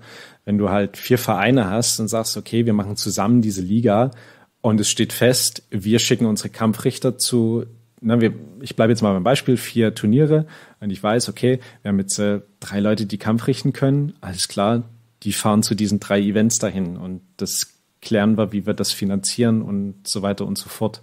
Und ich weiß dann aber auch, wenn der HEMA Cup stattfindet, dass ich von drei anderen Gruppen Kampfrichter kriege und dann nicht betteln und hausieren muss und horrende Summen ausgeben muss dafür, dass du irgendwie Kampfrichter reinkriegst. Ne? Ja, also das wäre tatsächlich was, was wahrscheinlich ganz gut tun wird. Das, wäre, das äh, trägt auch nochmal so ein bisschen zur Professionalisierung bei. Und die Art, wie das zum Beispiel in der Nordic League gemacht wurde, fand ich nicht schlecht. Es gab auch immer mal wieder so Überlegungen, äh, dass es irgendwie so eine Alpenliga gibt, habe ich mal gehört, so quasi Schweiz, Norditalien zusammen, da die Ecke, vielleicht nur Österreich. Also ist teilweise nicht passiert, aber das ist was, was man hier im zentraleuropäischen Raum irgendwie nicht so in der Form hatte und ja, wäre mal spannend. Muss ja nicht nur in einem Land sein, kann ja auch ein Land und die angrenzenden Sachen sein. Ja. Also wäre ich auch selbst als Turnierveranstalter super offen für das Thema und ein, ein offener Aufruf an unsere Hörerinnen und Hörer, wenn ihr Turniere bei euch veranstaltet, dann schreibt uns gern post.schwertgeflüster.de und sagt, das mit der Liga finde ich cool. Lasst uns mal zusammentun und hier was Gemeinsames starten. Anderer Vorteil davon ist ja auch noch, wenn du ein klares Ende hast, weil es halt eine bestimmte Anzahl Events ist, dann weißt du, wann du quasi den Sieger dieser Liga küren kannst. Und dann kannst du da so eine richtig schöne du kannst den Sieger des Events quasi küren und dann wird nochmal große Auflösung, äh, Treppchen und so weiter, große Feier, wer denn jetzt die Gesamtliga gewonnen hat. Weil in der Regel ist es ja so, dass du ähm, Punkte kriegst und da eine Chance hast auf einen Sieg, musst du in der Regel an allen teilnehmen. Und ähm, tendenziell kann man es auch so einrichten, dass das letzte Event irgendwie das größte ist oder noch ein paar Punkte mehr gibt, um den Anreiz noch zu erhöhen. Und dann sind wahrscheinlich die Leute da, die da auf dem Treppchen auch insgesamt stehen, weil wenn du halt ein Event auslässt, klappt das normalerweise nicht. Ja. Und ja, also da kann man dann sicherlich auch noch ein paar schöne Sachen mitmachen. Ja, das finde ich mal sehr, sehr schön, ja. Und dazu muss es aber eben ne, vorher feststehen, du musst ja diese vier Events blocken, musst ja organisieren, äh, auch als Teilnehmerin, Teilnehmer. Also vor allem, wenn die Organisatoren sich abstimmen, dann verteilen die das auch so übers Jahr, dass es passt. Ja, genau. So. Also das ist halt, das darf man nicht unterschätzen. Also wenn die sich wirklich untereinander absprechen, dann könnte man das alles einfacher für die Teilnehmer auf die Beine stellen. Auch vielleicht gibt es eine gemeinsame Registrierung für alle gleich oder so. Kann man sich alles überlegen. Ja. Also da, da könnten wir zum Beispiel mit unserem Schwertgeflüster Discord-Server auch eine Plattform zur, zur Vernetzung stellen. Also die, der Möglichkeiten gibt es viele. Fände ich eigentlich cool, wenn es die Schwertgeflüster-Liga geben würde. Ja, schauen wir mal. Und aber muss nicht unter unserem Banner laufen. Ich fände es aber trotzdem gut, wenn Leute das machen ja, würden. Solange, solange wir die Kommentatoren für den, für den Final, für die Finalkämpfe sein dürfen, ist alles gut, ne? Ja, Livestream, da hätte ich schon Bock ja. drauf. Also da so ein bisschen quatschen und äh, man kennt ja auch die meisten Leute, die da fechten und so, hat so ein bisschen deren Geschichte miterlebt die letzten Jahre, das könnte man schon tun. Ja. Ähm, Discord-Server hast du angesprochen. Das wäre mir zum Beispiel noch so ein Thema. Es ist ja jetzt merklich, dass auf Facebook immer weniger geht, immer mehr Leute sich abmelden, dass immer weniger genutzt wird. Aber Facebook war halt der Ort für die HEMA-Community und ist es auch immer noch. Also es gibt so diesen Exodus, dass Leute von der Plattform weggehen, aber es hat sich noch nicht so richtig rauskristallisiert, wohin, habe ich den Eindruck. Und das ist eine Lücke in der Community, die noch nicht gefüllt ist. Also Du hast dann zum Beispiel Reddit auf Englisch und Deutsch, gibt es irgendwie HEMA-Bereiche. Wir haben jetzt ja auch einen Discord-Server zum Beispiel aufgebaut, auch mit dem expliziten Ziel, dass das also ein Community-Treffpunkt ist, wo man sich auch austauschen kann und äh, auch, ich sag mal, konstruktiv über Wettkämpfe reden kann, ohne dass die Leute dann reingrieskrämen, wie blöd das alles ist. Ja. Ähm, aber so richtig ist das noch nicht entschieden, wo wir da landen am Ende. Und es gibt halt schon die Gefahr, dass das alles ein bisschen zersplittert und dass quasi alle Leute halt auf einer zentralen Plattform waren und dich mit denen auch austauschen konntest, die auch erreichen konntest. Das war schon ein Riesenvorteil halt an Facebook. Ähm, wenn aber HEMA-mäßig auf Facebook nichts mehr gehen würde, hätte ich mich da auch schon lange abgemeldet. Also so geil finde ich die Plattform eigentlich auch nicht. Aber es ist halt noch nicht so irgendwie das neue Ding da, wo man wirklich hingeht. Also auch das mit den Discord-Servern ist ganz nett, aber das ist halt, auch nicht für jeden was, habe ich den Eindruck. Ja, ich glaube auch, du musst dich natürlich wieder anmelden und du musst für diese Struktur, die Discord da bietet, auch eine gewisse Affinität haben, ähm, dich mit diesen Kanälen, mit den einzelnen ähm, so ein bisschen zurechtfinden, auch mit dem, mit dem Threading, wie das da gemacht ist. Es ist, es ist natürlich anders als Facebook, ne? Und man braucht da ein bisschen, muss sich schon ein bisschen dran gewöhnen. Nichtsdestotrotz haben wir jetzt über 100 Teilnehmerinnen und Teilnehmer beim, auf dem Discord-Server. Also es wächst. Sind wir schon bei 150? Nee, 150 noch nicht. Ich glaube 100, bisschen mehr als 110, wenn ich es hier richtig ja, sehe. Und genau, ja. Also ist insofern, ich meine, du kannst es auch nicht so gut im Browser einfach benutzen. In der Regel wirst du ja schon die App dazu runterladen. Also es sind schon ein paar Hürden da. Vielleicht ist da Discord gar nicht das Richtige, aber so dieses, ich habe halt inzwischen WhatsApp-Gruppen, HEMA-WhatsApp-Gruppen vom Verein und extra und überhaupt. Das geht auch irgendwie, ist aber auch nicht so geil, weil ich will ja auch nicht, dass irgendwie ständig das äh, Handy bimmelt, weil irgendjemand äh, keine Ahnung, was wissen will oder nur mal so ein Meme raushaut. Äh, Facebook war zumindest so, also zumindest bei mir eingestellt, dass das sich nicht von alleine gemeldet hat, wenn irgendjemand was gemacht hat, ja. sondern da musste ich aktiv reinschauen. Also liebe Hörerinnen, liebe Hörer, falls ihr da eine Idee habt, was der Next Shit sein könnte, äh, was Schwertgeflüster aufsetzen soll, gebt uns gerne einen Hinweis. Post.schwertgeflüster.de ist die Adresse eures Vertrauens. Also was ich mir da schon oft überlegt habe und auch mal so ein bisschen angefangen habe zu coden, aber war mir dann doch zu viel Aufwand. Ähm, wenn du zum Beispiel Trainer einladen möchtest, jetzt auf ein Seminar oder so, dann stellen sich immer die gleichen Fragen so. Wen gibt es da denn überhaupt? Wer kann was? Also wer macht sozusagen gute Seminare? Zu welchen Waffen? Wo wohnen die? Was kostet mich der Spaß? Dann brauchst du sowas wie das Trainerbild, die Trainerbiografie, dass du das irgendwie publishen kannst und so. Und das läuft halt alles so über E-Mails, Bekannte, Facebook, wobei E-Mail eigentlich die schlechteste Art ist. Also wenn ihr mit den Leuten Kontakt habt, versucht immer möglichst schnell von E-Mail auf irgendein anderes Medium zu kommen, weil E-Mail kann im Spam-Folder landen, wisst ihr nicht, ob es die anderen gelesen haben, hat häufig nicht so eine hohe Dringlichkeit und äh, bei zeitkritischen Sachen wartet man dann auch gerne mal. Aber das wäre zum Beispiel was, wo ich mir immer überlegt habe, könnte man nicht so, also will jetzt nicht sagen, ein vollwertiges soziales Netzwerk, aber weißt du, sowas wie eine LinkedIn-Seite für HEMA-Trainer, dass du halt sagen kannst, ich unterrichte folgende Sachen, ich bin bereit zu reisen in hm. Deutschland, Europa. Das sind ein paar Bilder von mir, die könnt ihr verwenden zur Ankündigung, meine Kurzbeschreibung, dass ihr auch wisst, was ich eigentlich mache. Ähm, vielleicht mit sowas wie einem Bewertungssystem, wobei man da ja mal aufpassen muss, dass einfach äh, keine Leute abgestraft werden, die sich halt bei einer bestimmten Gruppe von Menschen unbeliebt gemacht haben. Ja. Äh, also zu Unrecht jetzt in dem Fall. Aber das wäre so ein Ding, wo ich immer so ein bisschen den Eindruck hätte, eigentlich wäre das nützlich, dieses ganze Buchungszeugs da irgendwie einfacher abzubilden. Äh, so eine Art HEMA-Visitenkarte. Auf der anderen Seite ist natürlich schon die Frage, würde das jemand nutzen oder nicht, aber das ist halt auch so ein Bausteinchen von dem, was Facebook halt vorher gemacht hat. Du hattest halt ein Facebook-Profil, da stand drin, ich bin Trainer hier und da, waren noch 15 Videos verlinkt und du hast halt irgendwie gepostet und die Leute wussten, du beschäftigst dich halt mit dem Thema. Ja. Aber das äh, fehlt mir irgendwie gerade so ein bisschen. Das du etwas, was du auch durchsuchen kannst. Ich meine, so eine, genau. diese Möglichkeit, irgendwie eine digitale Visitenkarte, da gibt es ja zum Beispiel heylink.me, ähm, wo du da genau das erstellen kannst mit Bild und Text und ein paar Links und hast du nicht gesehen. Aber das ist halt was, was du dann wirklich wie eine Visitenkarte weitergibst, wo du ja. dann keine, man bräuchte dann eben noch eine Datenbank dazu. Du brauchst es halt eine Suche, ne? Ja. Also wenn ich halt sage, ey, ich würde mir gerne jemand von Rapier einladen, italienisches Rapier, kein Fabrice, wen gibt's denn da, der so um mich rum wohnt? Dann kann ich ja immer noch gucken und so, äh, krass, in Norditalien wohnen die fünf Dudes, die ich noch nie gehört habe, weil die halt nicht international so aktiv sind bisher, also zumindest nicht in den Zirkeln, wo ich war. Aber das klingt voll super, was die machen, schreibe ich die ja vielleicht mal an und sage, hey, wie sieht denn das aus, hättest du Bock und so. Ähm, also es ist am Ende ja auch ein Vernetzungstool eigentlich für die Leute. Wäre natürlich ein geiles Add-on für die Schwertgeflüster-Webseite, muss man ja mal so sagen.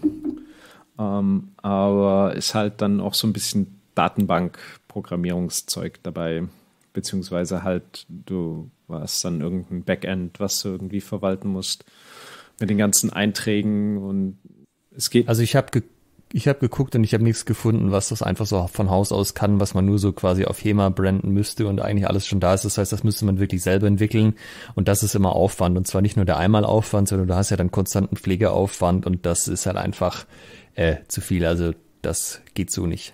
Hast du da, also für mich nicht. Hast du da so mit, mit Datenbankgeschichten bei, bei WordPress ähm, mal äh, experimentiert? Also das gibt's ja in, in, in WordPress quasi äh, Tabellendateien sozusagen, Datensätze abzulegen und die dann entsprechend auf eine, auf eine Website zu packen? Ja, die Datenspeicherung ist gar nicht so sehr das Problem, das geht zum Großteil automatisch, aber du brauchst ja auch das ganze Frontend dazu. Und eine benutzbare und gute UI zu machen, also ein Interface, wo dann Sachen sinnvoll hinterlegt sind und es gibt mehrere Ansichten und Details, ausklappen, einklappen, interaktiv und so ja. weiter. Das ist kein geringer Aufwand, sag mal so. Vor allem, weil das jetzt, also da habe ich professionell jetzt in den letzten Jahren auch nicht viel gemacht und Webwelt entwickelt sich krass weiter. Da bist du halt dann, also da bin ich nicht up to date. Aber das wäre zum Beispiel was, das ist eigentlich für jemand, dessen tägliches Brot das ist, nicht so schwer zu machen. Ähm, also vielleicht hat da ja mal jemand Lust, so in Richtung Open Source Projekt sowas an den Start zu bringen. Mhm. Also so wie HEMA Events der, der Kalender ist, ähm, dann eine HEMA, HEMA.trainer sozusagen. Ähm, genau. Eine, eine, Datenbank mit, mit allen Infos, die man, die man braucht.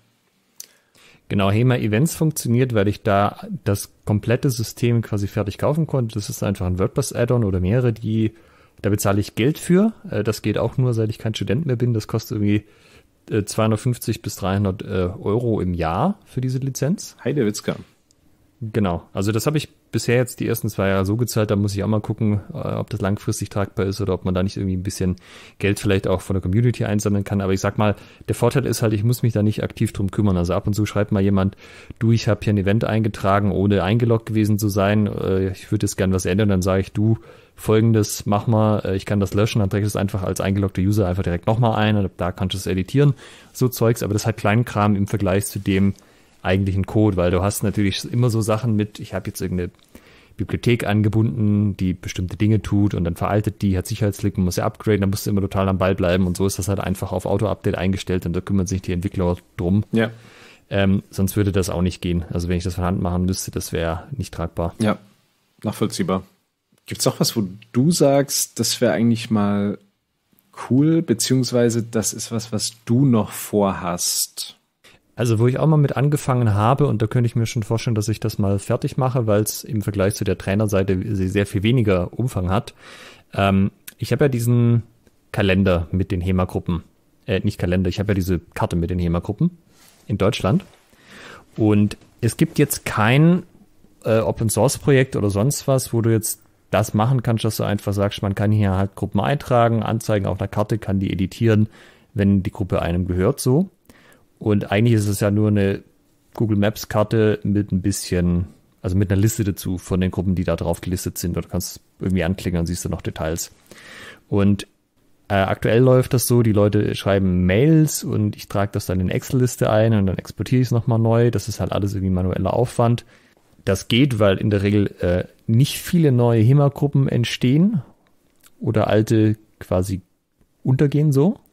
Darum hält sich das in Grenzen, aber das ist auch was, wo ich mir denke, das wäre geschickt, da so ein System zu haben, das irgendwie als Open Source zu machen. Irgendwas ganz Simples, was eigentlich, ja, wo halt auf 80 Prozent des Bildschirms ist die Karte mit den Markern drauf.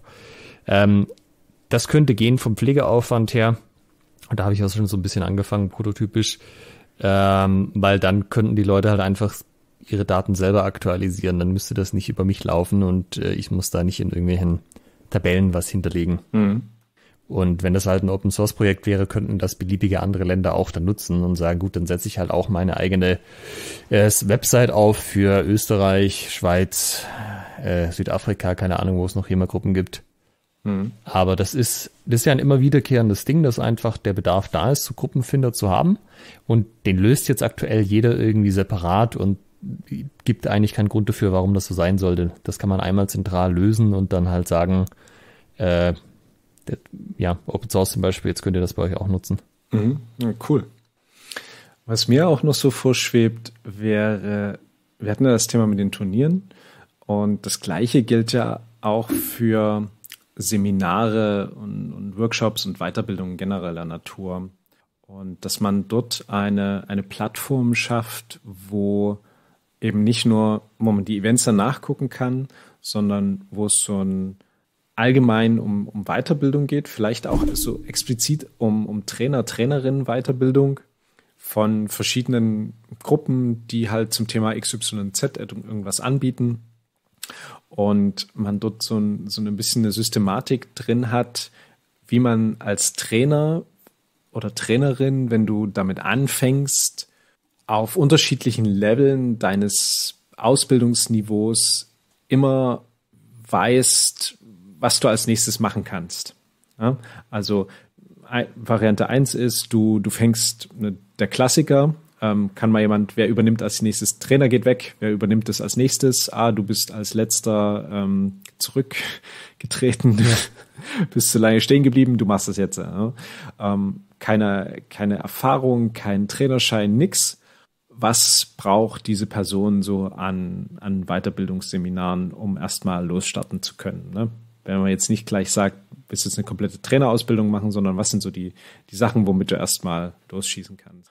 Und dann eben nach einem gewissen, nach einer gewissen Zeit, wo man sagt, okay, jetzt lohnt sich eine Trainerausbildung zu machen, hm, hm, hm, ne, gibt es die und die Möglichkeiten.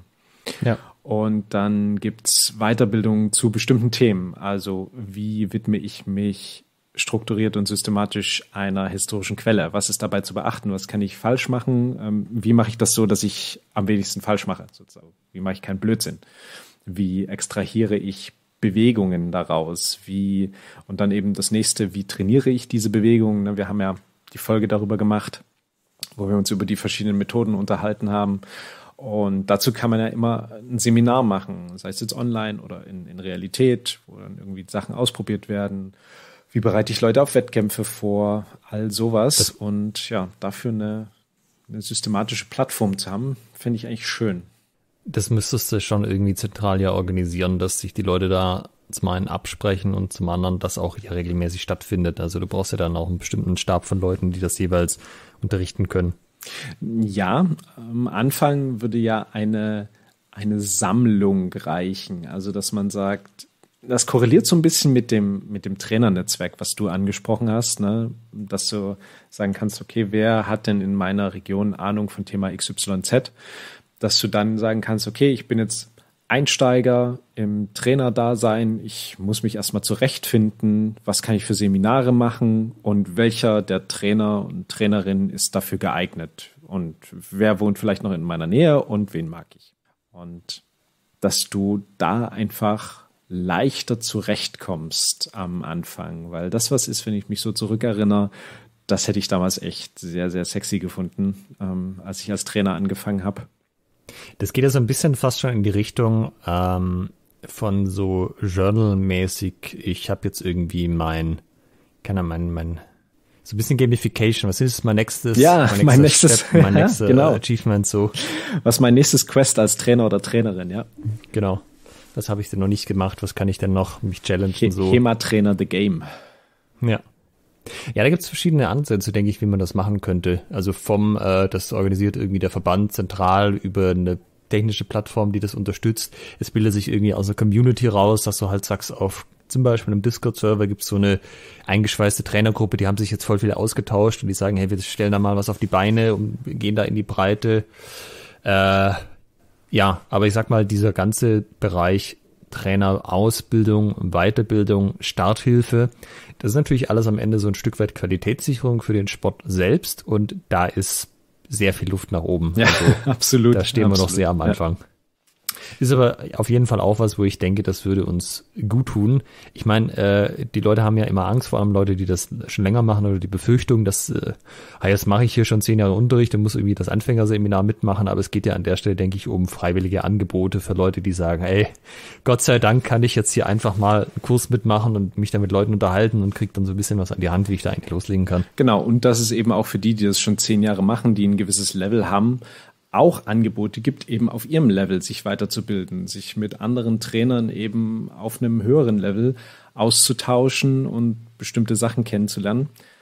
Ne, also, dass es quasi von bis, dass, dass es äh, du ja. bis zu Level 99 bist, sozusagen. Ähm. Das Problem ist ja so ein bisschen, dass das alles ehrenamtlich passiert, weil wenn natürlich da Geld zu machen wäre und das okay wäre, wenn das jemand sozusagen als ein Business aufzieht, dann wirst du das wahrscheinlich relativ schnell kriegen. Aber äh, mit diesem ganzen ehrenamtlichen Konstrukt ist wahrscheinlich halt immer schwierig, da Leute zu finden, die sich dann so richtig reinhängen und reinhängen wollen auch. Ja, ich sag mal, wenn die Trainer und Trainerinnen einen Mehrwert davon haben, also die dann für ihre Dienstleistung entsprechend bezahlt werden, sei es jetzt ein Seminar oder sei es irgendwie eine, eine Ausbildung, die sie geben, dann lohnt sich das ja. Dann haben die ja ein Interesse ja. daran teilzunehmen und daran auch mitzuwirken. Und vielleicht auch selber einen gewissen Teil zu bezahlen da rein, womit man dann eben jemanden bezahlt, wo man sagt, hier kannst du mal dich um die Pflege der Webseite von diesem, ähm, von diesem Ding da kümmern ähm, wie auch immer man das dann nennt. Ja. Ähm, also ich glaube darüber, das könnte schon, könnte schon funktionieren. Was ich mir noch wünschen würde, wäre dann, dass jemand auf deutschem Boden ein großes internationales Turnier aufzieht. Also mit international meine ich jetzt nicht, dass dann halt ein paar Österreicher und Schweizer da noch hinkommen, sondern dass dann halt wirklich Leute aus Frankreich, Polen, Italien hinfahren, vielleicht noch die Schweden irgendwie runterfliegen und die Finnen und so weil Deutschland ist, was die ganze Wettkampfszene angeht, schon immer noch relativ isoliert. Also wir machen halt unsere Events auf Deutsch. Das ist natürlich immer der erste Punkt, der internationales Publikum abschreckt, potenziell. Äh, viele Regelwerke gibt's ja nicht mal auf Englisch, selbst wenn, oder Webseiten. Und ich denke, das würde dem Gesamtlevel in Deutschland gut tun, wenn da ein bisschen mehr Internationalität reinkommen würde und halt auch so im Ausland dieses äh, Bewusstsein auftaucht, ey, man kann auch in Deutschland irgendwie gut fechten gehen, weil das sehe ich aktuell nicht, dass das da ist. Ja, das habe ich auch dieses Jahr beim HEMA Cup gemerkt. Also die Plätze eins bis vier haben sich ähm, Tschechen, Slowaken und Ungarn geteilt. Äh, beste Deutsche kam dann auf Platz fünf. Ja. Und also das hat schon der Qualität äh, dieses Turniers sehr, sehr geholfen. Also da, da war schon ein bisschen was da dahinter. Und das ist auch was, was ich so ein bisschen mit dem HEMA Cup anstrebe. Wir wollen nächstes Jahr quasi HEMA, auch HEMA total machen. Wir wollen alle Disziplinen, die jetzt so wettbewerbsmäßig gefochten werden, üblicherweise. Das heißt langes Schwert, Schwert und Buckler, Säbel und Rapier und Dolch anbieten, um da einfach erstmal ein, äh, ein, ein, ein breiteres Interesse zu, zu fachen dafür, ne? dass dann Leute sagen, ah, da gibt's das, na, das könnte ich mir auch vorstellen. Und dann gibt's halt in einem Verein eben nicht nur eine Person, die jetzt Bock auf langes Schwert hat, sondern dann gibt's auch jemanden, der macht Schwert und Buckler und noch jemanden, der macht Rapier und dann sagen die, ah komm, dann tun wir uns jetzt zusammen, ähm, fahren mit dem Auto dahin, dann lohnt sich das für uns. Ähm, Wäre jetzt tatsächlich mein nächster Punkt gewesen, also dass wir auch mehr von diesen Mischsachen haben, wo es nicht nur langes Schwert ist, dass eben das passiert, was du sagst, dass sie einfach verschiedene Leute zusammentun können oder zusammen zum Beispiel hinfahren können, aber auch, dass andere Leute sich denken, hey, wenn ich da jetzt eh schon hingehe, ich äh, fecht zwar vielleicht jetzt nicht so viel Waffe X, aber ich würde auch mal am Turnier teilnehmen und dann entsprechend halt umgekehrt auch wieder sagen, ja gut, das habe ich mich schon angemeldet, dann gucke ich aber auch, dass ich mich da entsprechend vorbereite, mit der Waffe vielleicht auch noch mehr mache, also dass nicht nur so der Fokus komplett beim ähm, Langschwert liegt, sondern auch da Leute so ein bisschen mehr links und rechts schauen, weil es auch entsprechende Angebote gibt. Ja. Und da kann ich auch schon den Termin verraten, also könnt ihr euch jetzt direkt einschreiben in den Kalender. Der 22. und 23. Juni 2024 wird der Dresdner HEMA Cup stattfinden. Mit besagten Waffen. Also Langschwert für Männer und Frauen. Anfänger wollen wir auch dazu nehmen und dazu Säbel, Schwert und Buckler, Rapier und Dolch. Und äh, die Webseite haben wir jetzt und das Regelwerk hatten wir in der Tat jetzt zwangsweise, weil uns quasi die Osteuropäer überlaufen haben und dann immer gefragt haben, where is information in English, please? Ja.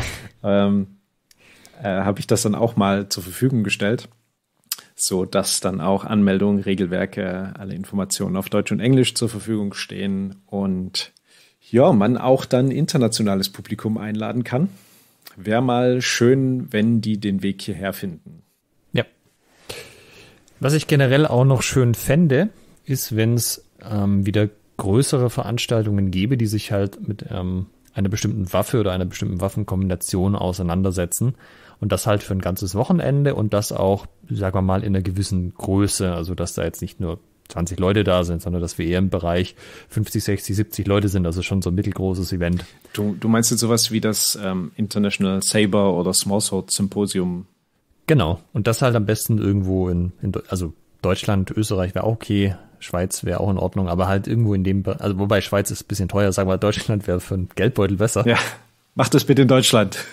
ja. Also es gab ja so ein paar Sachen, zum Beispiel das, äh, genau, von dir angesprochen, International Saber Symposium gab es ja, das gibt's jetzt nicht mehr. Also ich meine, Saber ist jetzt persönlich nicht so meine Waffe, aber das macht ja nichts. Ich finde es trotzdem gut, dass es das gibt. Ähm, jetzt dieses Jahr, glaube ich noch, gibt's ja das Montante-Symposium, das ist ja auch zum Beispiel neu, was da eine coole Sache ist. Ähm, aber zum Beispiel für Rapier haben wir das in der Form also es gibt so einzelne Events, zum Beispiel Rapier Vienna, wo du halt ein Wochenende lang nur Rapier hast und so. Ähm, ja, wo dann halt auch Leute, sagen wir mal, international kommen, aber schon eher halt aus den Ländern um Österreich drumherum. Aber einfach solche Sachen, wo das auch ein bisschen größer aufgezogen ist, bisschen internationaleres Publikum vielleicht auch da ist, mit auch internationaleren Trainern oder halt eine gute Mischung, sagen wir mal. Äh, davon würde ich mir auch mehr wünschen und ja. Aber da, da interessiert mich zum Beispiel, wir haben ja auch äh, angesprochen, Aachen, heute soll es darum gehen, was hält uns davon ab?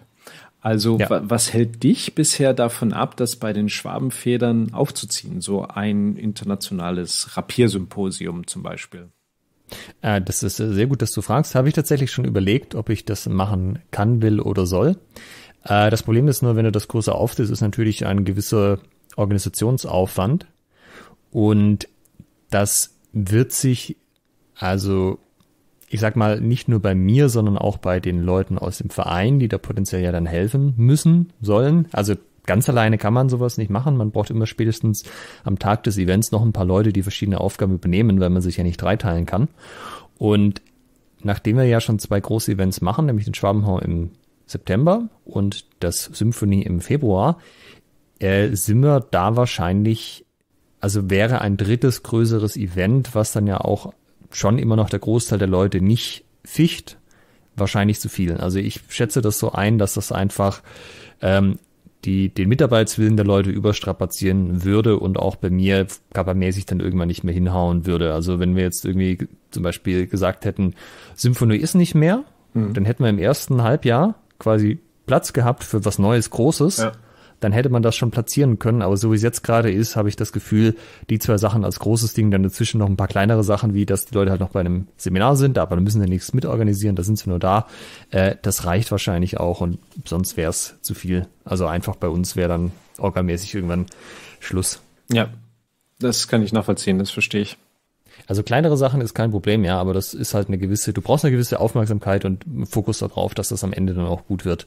Und äh, wir machen jetzt zum Beispiel ja im Dezember ein Rapierturnier, was äh, nicht ich äh, angestoßen habe. Mhm. Ja, also da hat das zum Beispiel funktioniert, dass einer aus dem Verein gesagt hat, er hatte Bock drauf, er will das machen. Aber das ist halt auch so, weißt du, da werden jetzt keine 100 Leute auftauchen wollen. Ja. Das kannst du ja. mit 130 Leuten also Teilnehmern und dann noch entsprechend 50 äh, Prozent davon Aufschlaghelfer und so, das kriegst du irgendwie alles hin. Aber sowas wirklich Größeres im Bereich 70, 80 Leute, da musst du schon ein bisschen dahinterher sein, wie du das dann anstellst am Ende. Ja, verstehe ich. Genau, aber nichtsdestotrotz, deshalb würde ich mir wünschen, dass einfach das mehr passiert und auch mehr ähm, so spezialisierte Events einfach da sind. Ich meine, es ist gut, dass wir so große Misch-Events haben, wie jetzt zum Beispiel das Gathering, wo man sich ja auch neue Sachen anschauen kann. Das auf jeden Fall braucht man auch, ja, eine so eine zentralen Anlaufstelle, wo dann viele Leute immer sind, aber eben auch so kleinere Spezialevents, dass davon wieder mehr äh, existieren und auch wahrgenommen werden. Das fände ich schon eine schöne Sache. Mhm. Ja, auf jeden Fall. Gibt es noch was, was dir einfällt, wo du sagst, das bräuchte HEMA Deutschland oder das habe ich hier noch in der Schublade stecken? Aber noch. Also es gibt so ein paar kleinere Sachen, zum Beispiel, äh, was so Turnier-Apps jetzt angeht, zum, um das zu managen und so. Da gibt's welche, aber die könnten alle noch mal ein Stück toller sein ja. von der Usability ja, her ja, und so weiter. Aber klar, auch da sind halt irgendwelche Open-Source-Projekte in den meisten Fällen. Ähm, man könnte sich, also, weißt du, so Twitch-mäßig zum Beispiel so einen Livestream aufzuziehen, wie jetzt das Demaskiert gemacht hat, mit so äh, mit der Demaskiert-Liga, wo dann erklärt wird, Einblendungen, alles auch mit guter Kamera, gut produziert und so weiter. Da fände ich es auch schön, wenn das mehr passieren würde. Äh, Hat es jetzt einen ersten Versuch gegeben letztes Jahr mit der Fight Night von äh, Grünweiß Holten im Ruhrgebiet. Ja, also ich denke, das hat potenziell schon auch nochmal Potenzial einfach, dass man es auch ein bisschen, jetzt nicht für den Laien, aber für die HEMA-Szene international ein bisschen zeigt, hey, hier Deutschland, da geht auch was. Ja. Das kann man ja in verschiedenen Formaten machen, aber ich meine, am Ende wird es auch da wahrscheinlich auf ein Turnier rauslaufen, weil das halt das ist, was du gut äh, streamen kannst. Ja, wenn ihr die Folge direkt jetzt hier am 13. Oktober hört, wo ihr sie, wo sie rauskommt, Alex gerade rausgesprochen hat, morgen Abend ist Fight Night und ähm, die Infos sind bestimmt irgendwo im Inter in den Weiten des Internets zu finden, so dass ihr euch da den Stream, den Livestream angucken könnt. Das ist äh, sehr gut, dass du das sagst, weil wir haben nämlich schon eine ganze Weile nach den Infos gesucht und keine gefunden, wann das denn stattfindet. Hoffen wir, dass es zu dem Zeitpunkt, wo die Folge rauskam, dann schon äh, angekündigt ja, wurde. dass dann alle wissen, wo sie hinklicken müssen.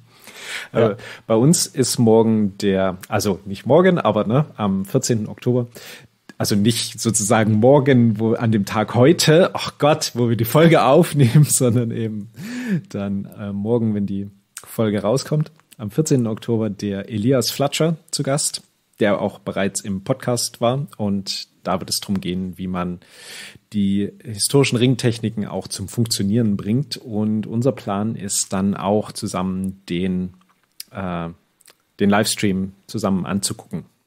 Ah, tatsächlich. Ja, ja sehr schön. Äh, muss ich übrigens noch äh, an der Stelle ein Lob aussprechen, weil der, also Jeremias, äh, nicht Jeremias, äh, Elias. Elias im Podcast hatten. Er hatte ich ja so ein bisschen auch gechallenged, so, hey, bist du Ring-Experte und ja, so weiter. Genau. und äh, viele Leute hätten da wahrscheinlich in so eine Abwehrhaltung geschalten und gesagt, guck dich doch mal an. du hast äh, ja in Österreich Bundesliga gerungen, also wo kommen wir da hin, ne? und sich aber natürlich keinerlei Überprüfung stellen oder irgendwie Lernversuch, aber du hast ja dann gleich gesagt, weißt du was, machen wir doch ein Seminar draus, kommst du mal zu uns, dann kannst du mir das mal zeigen und dann äh, schauen wir weiter. Also ja, also falls, An der liebe Hörerinnen, ja. liebe Hörer, ne, falls ihr noch mal sehen wollt, wie ich gnadenlos aufs Maul kriege, dann ja, genau. ein paar Plätze sind vielleicht noch frei jetzt zu diesem Zeitpunkt. Kommt morgen vorbei. Das, das wäre der Moment. Ja, genau. Es ist ein zweitägiges Seminar, Samstag und Sonntag. Und es geht um ähm, von Baumann, dem seine, wo sein Fechtbuch ist, ähm, Wallersteins sozusagen Ringtechniken, Wallerstein Teil C. Und dann geht's einmal darum, die anzugucken, wie die funktionieren, wofür die geeignet sind und die dann eben ja. auch zum Funktionieren zu bringen. Das nochmal als kleiner Werbeblock. Ansonsten, ich meine, equipmentmäßig, das haben wir jetzt auch schon 101 Mal besprochen, da gibt es an einigen Stellen durchaus noch Luft nach oben. Bau da mal vernünftige Handschuhe, bitte, liebe HEMA-Gemeinde. Es wäre so geil. Ja, das sind so die, die großen Sachen, die ich so ein bisschen auch äh, sehe. Und ja, mal gucken. Also wenn ich jetzt das Buch veröffentlicht habe, wie es dann aussieht, ob ich dann sage, ey, da gibt's total den Bedarf, nochmal zehn Bücher zu schreiben zu verschiedensten Themen, die der, bis jetzt kurz gegangen sind. Der, der Zornhau im Detail, der Twerhau im Detail. Ja, zum Beispiel da, ich habe gar nicht so sehr Lust auf alle von diesen Techniken zu beschreiben, gerade mit Zornhau so. Aber es gäbe schon andere Sachen, wo, wo ich mir vorstellen könnte, das würde sich vielleicht schon lohnen, da noch was zu machen. Also zum Beispiel so Re Langschwert bringen, Armbringen, Leibbringen. Oh ja, sehr schön. Das ist, ja, also wäre zum, ja, wo man sich überlegen könnte, das ist so speziell, da könnte man schon was dazu schreiben, da tun sich auch viele Leute schwer. Auch was so äh, Training, Trainer, Dinge angeht, könnte man sich diverse Buchüberlegungen noch anstellen oder die ganze Organisationsgeschichte. Äh, weil zum Beispiel die meisten Bücher, die man irgendwie findet zum Thema ähm, so eine Kampfsportschule leiten, sind halt von Leuten, die das hauptberuflich machen. Und da kann man zwar viel sich abgucken, aber es ist doch mal nochmal ein Unterschied, wenn man das hobbymäßig einfach macht und selber auch Hobbyisten unterrichtet. Also auch da hat, soweit ich das gesehen habe, noch niemand irgendwie ein Buch drüber geschrieben und so. Also da gäbe es schon diverse Ideen, äh, die ich so im Kopf hätte, was man machen könnte. Aber das hängt natürlich alles jetzt davon ab, ob ich da nochmal Buch, äh, Bock drauf habe, nochmal ein zweites zu machen, ob das sich überhaupt verkauft, ob das Leute haben wollen, ob die Zeit der Bücher eh vorbei ist und so. Also wird man alles sehen. Ideen wären genug da, es ist schon auch viel Aufwand. Ja. Was mir auch gerade noch einfällt, weil wir jetzt so das Thema Veranstaltungen haben, wir haben ja im Dezember ähm, machen wir bei Fancy Club auch eine, eine Kampfrichter-Weiterbildung, also Weiterbildung Kampf, zum Kampfrichter für historisches Fechten am 16.12. Und das wäre auch noch was, so die Qualität der Kampfrichter und Kampfrichter in Deutschland zu steigern, auch die Community ein bisschen ähm, zu festigen und Personen, die sich da hinstellen um sich beschimpfen zu lassen, auch irgendwie eine, eine Form von Wertschätzung zu geben, dass es einfach dann auch mehr gibt, die sagen, jo, mach ich, geht klar, ne? dass man irgendwie so eine gemeinsame Community hat, weil man weiß, jo, wir brauchen die Jungs und Mädels. Um, ja, ja. Das natürlich einmal über die Liga, die wir vorhin angesprochen haben, etwas, worüber man das ausbauen kann, aber eben auch so über gemeinsame Weiterbildungsveranstaltungen und wo es dann eben auch mal darum geht, wie lerne ich denn wirklich Kampf richten? Also nicht nur, was sind die formalen Abläufe, sondern wie lerne ich das Sehen von Treffern, wie kann ich das üben, wie kann ich das im Training reinbringen? Also nicht nur, ja, muss halt so und so viele Gefechte jurieren, sondern ja, das ist wie, wie bringe ich Leuten Fechten bei? Ja, muss halt Freikampf machen. Ist eine ja, Methode, also ist eine Methode, klar. Ähm, funktioniert, ja. Aber es gibt bessere Wege und da wollen wir auf jeden Fall ansetzen, ähm, quasi mit unserem Seminar den, den Anfang machen und dort einfach auch eine, eine höhere Qualität in die Ausbildung und in die Community bringen der Kampfrichterinnen und Kampfrichter. Ja. Ähm, was ich generell auch gut finde, wäre, wenn es mehr so Aktionen geben würde, wo man sich mal gegenseitig besucht und im Training vorbeischaut. Das Dojo Yaburi. also ohne Dojo-Storming ganz respektvoll und so. Aber äh, habe ich das Gefühl, wird in letzter Zeit ein bisschen mehr gemacht, so dass man auch mal sagt, ich habe jetzt irgendwie mal eine Woche Urlaub und fahre noch ein bisschen rum. Aber da würde ich mir auch wünschen, dass das noch ein bisschen mehr passiert. Ist jetzt vielleicht nicht so direkt ein Projekt, aber das ist ja auch, das kann nur gut sein, wenn man auch mal sieht, wie andere Leute an Sachen rangehen. Ja, absolut. Sowas könnte ich mir dann aber eben auch vorstellen über so, solche Plattformen wie, was wir vorhin angesprochen haben, zur, zur Trainerweiterbildung, ähm, das dann so ist, ach, dann kommt da einfach mal vorbei, wir beschäftigen uns gerade mit Thema XYZ und ja, ne, so eine ja. offene Einladung immer aussprechen. Bei uns findet gerade folgendes Thema statt. Wer Bock hat, you're welcome. Ja, dass man, also ich würde mir halt wünschen, dass das so ein bisschen in die Kultur einfach einzieht, dass man das macht und dass du quasi, also zumindest mal in den großen Städten eigentlich immer irgendwie ein, zwei Leute im Training da hast, die jetzt gerade von außerhalb zu Besuch sind und ähm, das halt einfach normal ist, dass man da mal vorbeischaut und ja. guckt, wie die das so machen. Auf jeden Fall. Was ich mir aus dem akademischen Bereich noch wünschen würde, äh, wäre so, also es fehlt noch so ein bisschen ein, ich sage mal, populärwissenschaftliches Standardwerk, wo du sagst, da steht jetzt, also das muss ja nicht zu einer bestimmten Quelle sein, aber da steht zum Beispiel für so frühes Langschwert, frühes Lichtenauer Zeugs, einfach irgendwie alles drin, so das ist der Forschungsstand, das wissen wir alles, so sieht das aus, das ist der Kontext. Weißt du so zum Beispiel diese ewige Diskussion, ist das jetzt immer äh, nur für den tödlichen Ernstkampf? Ja, Gab es da ja, auch Sport ja, dazu? Also man hat ja ja verschiedene Erkenntnisse, es wird auch immer mehr dran geforscht, aber mir fehlt noch so ein bisschen das Ding, wo da einfach jemand sich hinsetzt, das Buch drüber schreibt, das auch so schreibt, dass es sagen wir mal, für interessierte Laien, äh, die jetzt nicht selber Historiker sind oder Mediavisten, wie der Durchschnittsthema-Mensch ja ist, für die dann auch verständlich ist und dass du einfach sagen kannst, du, wenn du das mal wissen willst, wie das ist mit Thema, hier das Buch, einmal durchlesen, dann weißt du von dem ganzen Drumherum einfach Bescheid, dann müssen wir über ganz viele Sachen nicht mehr reden. Ja, ist natürlich aber echt schwierig. Du weißt ja selber jetzt aus eigener Erfahrung, wie leicht oder schwer es ist, ein Buch zu schreiben. Und ja wir haben ja von Dirk Hagedorn gelernt, wie gut sich das monetarisiert. Also er hat ja gemeint, so eine Kugel Eis pro Jahr kann er sich dann schon davon kaufen, aber ist jetzt nicht so, dass da der HEMA-Rubel rollt, wenn man so ein Buch rausbringt, was eben diese Zielgruppe hat. Ne? Also dieses Buch hätte ja dann die gleiche Zielgruppe wie die ähm, Bücher, die, die Dirk rausbringt. Und äh, da stellt sich dann eben so ein bisschen die Frage, wer soll das machen und warum. Also die Akademiker sagen dann, ja, für den, für den Pöbel schreiben wir da keine Bücher. Ne? Also ja. die sind halt akademisch unterwegs. Und für alle anderen, die werden halt sagen, boah, den Aufwand und wofür. Also da, da kann ich mir schlecht vorstellen, dass es da jemanden gibt, der sich dort genau der sich dort genau sieht. Ne? Also noch, noch nicht, denke ich auch, ist aber natürlich auch eine Skalierungsfrage. Das eine ist, was so den, das Verlegen angeht, wenn du es natürlich als Self-Publishing rausbringst, dann kannst du das Zehnfache verdienen von dem, was du, also das Zehnfache verdienen von dem, was du kriegst, wenn du es über einen Verlag rausbringst, so ein Buch. Also da kann sich das schon mehr lohnen, vielleicht auch nur das Fünffache, aber auch das kann sich ja schon mehr lohnen, mhm. wenn denn die Zielgruppe groß genug ist. Also jetzt mit den 5000 Leuten in Deutschland knapp, ja, wird sich wahrscheinlich nicht lohnen, aber ich meine, äh, HEMA ist ja schon stark gewachsen in den letzten Jahren.